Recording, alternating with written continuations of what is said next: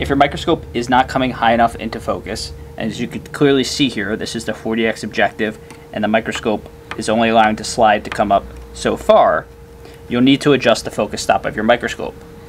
It's commonly found on the left-hand side of the microscope in the inwards of the coarse focus knob, there's another ring. Uh, you can read where it says adjust and set.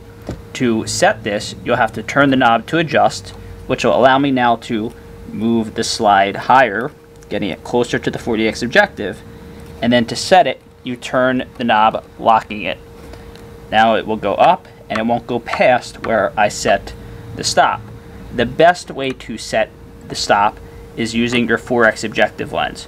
You'll want to set it so that the focus comes a little bit above the focus with your 4x. Therefore, it will come within range on your higher power 40x and 100x objectives without smashing up into your slide.